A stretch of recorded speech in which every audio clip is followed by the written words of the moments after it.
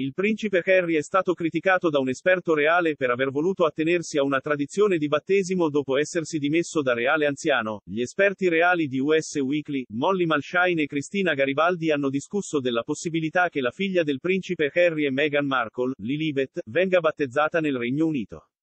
Durante il loro spettacolo, la signora Garibaldi ha sostenuto che era una situazione strana per i reali ha osservato che il principe Harry ha deciso di non voler far parte della vita delle tradizioni reali quando si è dimesso da membro anziano della famiglia reale.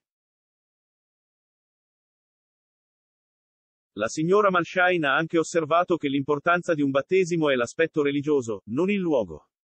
La signora Garibaldi ha dichiarato, il principe Harry non voleva far parte della famiglia reale. Ora volere un battesimo reale per mantenere una tradizione, è così difficile. Da un lato, il principe Harry fa parte della famiglia, vuoi che abbia quelle tradizioni, ma anche lui non voleva avere quelle tradizioni. Diventa una questione di dove sia questo equilibrio. La signora Garibaldi ha anche discusso se il principe William potesse impedire il battesimo.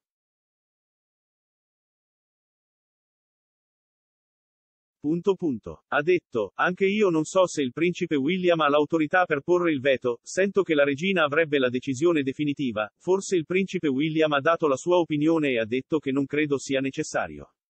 Inoltre, se il principe Harry venisse e lo facesse, sarebbe ciò di cui tutti parlerebbero. Sento che il principe Harry e Meghan dovrebbero battezzare il bambino in California, se è quello che vogliono. Allora forse quest'anno vengono nel Regno Unito durante le vacanze e lo fanno in quel modo. La signora Malshine si è anche espressa contro la necessità di recarsi nel Regno Unito per una cerimonia religiosa che può essere celebrata ovunque. Ha detto, questo non è davvero il punto di un battesimo.